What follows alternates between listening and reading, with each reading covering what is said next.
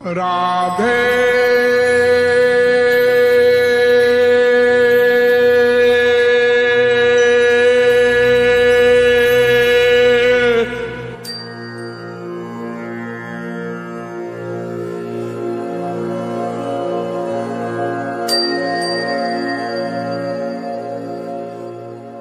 जो तू धावे एक पग तो मैं धाऊं साठ।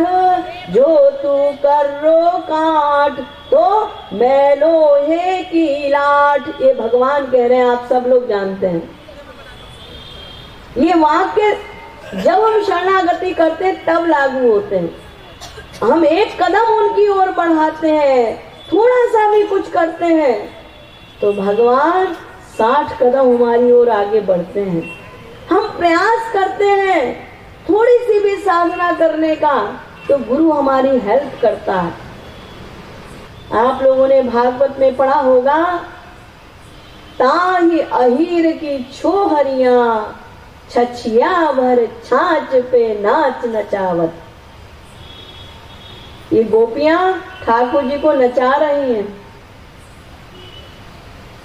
एक गोपी जा रही है, छाछ लेकर। तो उसने ठाकुर जी से कहा, लाला, छाछ पिएगा? दूध का जब दही बना दो और दही को मत लो तो मक्खन आता है। और मक्खन के बाद जो दही बचता है, उसको ब्रज भाषा में छाछ कहते हैं, मट्ठा कहते हैं। तो गोपी छाछ लेकर जा रही थी। तो ठाकुर जी उधर से जा रहे थे। तो गोपी ने पूछा, लाला, छाछ पिएगा? हाँ हाँ छाछ तो पीऊँगा। तो लाला ऐसे छाछ नहीं मिलेगा। पहले तू नाच के दिखा तो मैं तुझे छाछ दूँगी। पूर्णतम पुरुषोत्तम ब्रह्म श्री कृष्ण छछिया भर छाछ। छछिया भर। ये हाथ की दोनों अंजलि ऐसे कर लीजिए। अब रूप ध्यान कीजिए, छोटा सा बच्चा। छोटा सा बालक, और वो दोनों हाथ को यूँ करेगा। और अंजलि बनाएगा और इसमें कोई तरल पदार्थ डालिए तो आधा तो नीचे से बह जाएगा। कितना सा बचेगा? एक घूट, दो घूट। तो छछिया और छाछ के लिए ठाकुर जी इतनी मेहनत कर रहे हैं। वो गोपी कह रही, ऐसे नहीं मिलेगा, पहले नाच के दिखाओ। अब ठाकुर जी बीच सड़क पर नाच रहे हैं और गोपियाँ ताली बजा रही हैं। अब नाच दिया, ला, अब तो दे दे। अब दूसरी गोपी आ गई। लाला, मैंने तो तेरा नाच देखा ही नहीं। फिर से नाच के दिखा, तब मैं तुझे छाछ दूँगी। अब ठाकुर जी फिर से नाच रहे हैं। अब तो दे दे, अब तीसरी गोपी आ गई। देखिए, आप में से भी बहुत से लोगों को नाचना आता होगा। आप कहीं जा रहे हैं और रास्ते में आपकी सहेली मिल जाए, और वो आपसे कहे भाई मैंने सुना है तुमने कथक सीखा है, भरतनाट्यम सीखा है या तुमको नाचना आता है? हाँ हाँ नाचना तो आता है। तो जरा तुम नाच के दिखाओ। तो सहेली क्या कहेगी, तेरा दिमाग खराब है या सड़क पे मैं तुझे नाच के दिखाऊँगी? और अगर बहुत बड़ा कोई डांसर है, उससे कह दो, वो कहेगा, ज़रूर क्रैक है ये। यहाँ तुम्हें हम नाच के दिखाएँगे। कोई हमारा प्रोग्राम रखो। कोई हॉल वॉल बुक करो। स्टेज पर तब हम नाच के दिखाएँगे। ऐसे कोई सड़क पर, अरे थोड़ा बहुत भी किसी को नाचना आता हो तो ऐसे सड़क पे कोई नाच के नहीं दिखा देता। लेकिन यहाँ टॉप के डांसर। देखिए, शंकर जी का तांडव नृत्य नंबर एक पे। लेकिन जब हमारे ठाकुर जी ने कालिया नाग के वनों पर नृत्य किया तो शंकर जी भी सेकंड नंबर पे आ गए, हमारे ठाकुर जी टॉप कर गए। ऐसे टॉप के डांसर और सड़क पर गोपियों के कहने से काहे के लिए? छछिया बर छाछ के लिए। और अगर किसी का बच्चा आपके लालच में आ जाए, बेटा मैं तुझे छाछ दूँगी, जरा नाच के दिखा तो आप लोग क्या सोचते हैं?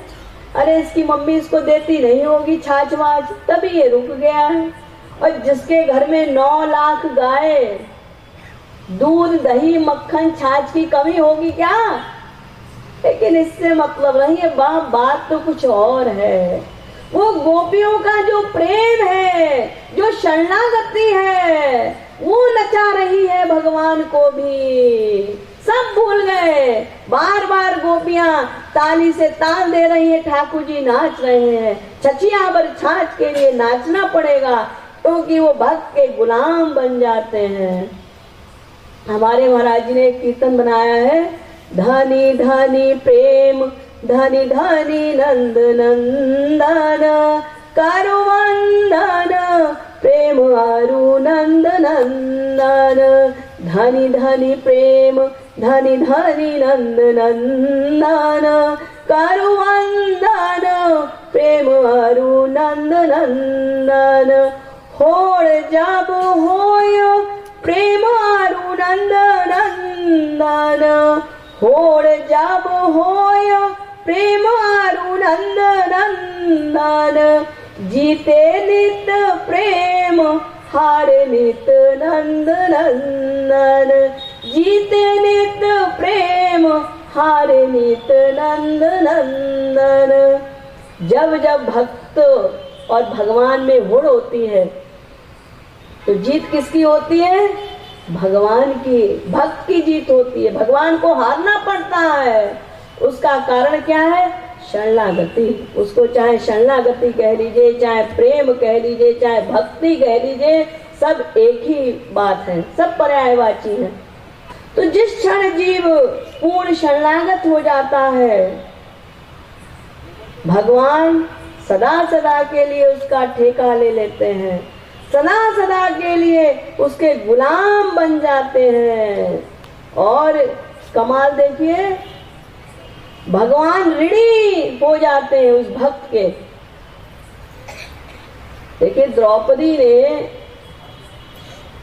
भगवान को पुकारा, क्यों? अपने स्वार्थ के लिए। ये गंदा शरीर निर्वस्त्र ना हो जाए। अपनी लाज रखने के लिए भगवान को पुकारा। लेकिन श्री कृष्ण क्या कह रहे हैं? ऋण में, तत्प्रवृद्धन में हृदया नाप सरपति क्रंदत कृष्णा दूरवासिनम श्री कृष्ण कह रहे हैं द्रौपदी, मैं तुम्हारा ऋणी हूँ। क्यों?